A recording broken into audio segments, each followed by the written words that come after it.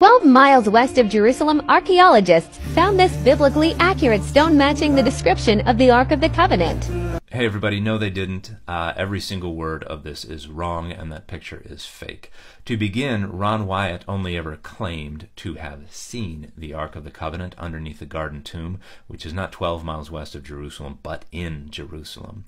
Ron Wyatt also claimed that God made it so all the pictures he tried to take of it were too fuzzy to be of any use. So that is a staged photograph. That is not Ron Wyatt's photograph. Also, there were no archaeologists involved. Ron Wyatt was never an archaeologist, neither was anyone on his team. These were all hobbyists, and they um, made an arrangement with the Garden Tomb Association to allow them to dig and the Garden Tomb Association closely supervised their excavation, examined everything they brought out, and then went in and investigated everything that they dug up. And they have stated in a formal letter that Ron Wyatt never found any such thing whatsoever.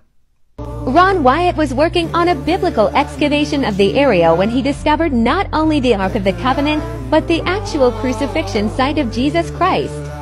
So Ron Wyatt did not discover the Ark of the Covenant, and the entire reason he was digging in the garden tomb is because people had been claiming that was the crucifixion site of Jesus since the 19th century. Ron Wyatt did not discover that.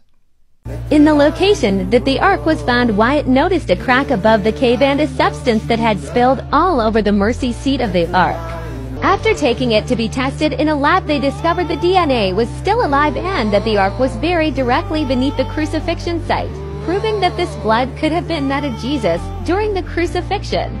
They discovered that the DNA showed 24 chromosomes from only the maternal parent, proving that Jesus was born to a virgin. So not a single photograph shown in this video is actually of the garden tomb or of any such excavation.